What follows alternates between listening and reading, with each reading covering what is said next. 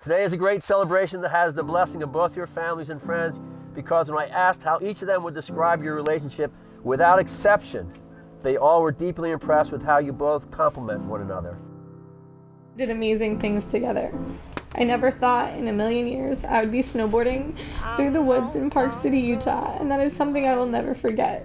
I am the best version of myself I've ever been in my life, and I can't ever thank you enough for that. I can't wait to start this new adventure with you. Just to think it all started with a laugh and a hangover with some wool slippers.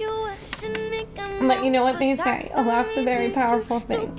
And I think it's never been more powerful than when I somehow convinced you to marry me. You are my hero, and I love you with everything I have to give. I'll see you soon, baby. Love you, and I can't wait.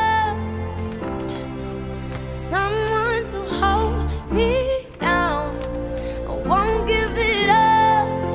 No, and I want you. Michelle, your mom was happy that you have found the man that would help fulfill her hopes that you would live a happy life, that be blessed with a family, a man who would help you overcome the challenges that life sometimes throws your way and find a deeper love for one another. And Brian, your mother, had the same hopes for you. She has always loved your smile since you were a little boy and the way your face lights up.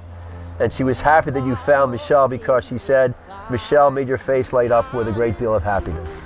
Ever falling without any Never separate. You can kiss the groom.